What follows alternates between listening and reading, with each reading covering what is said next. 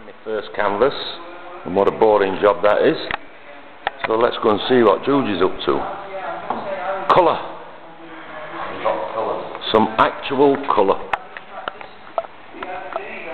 And some money.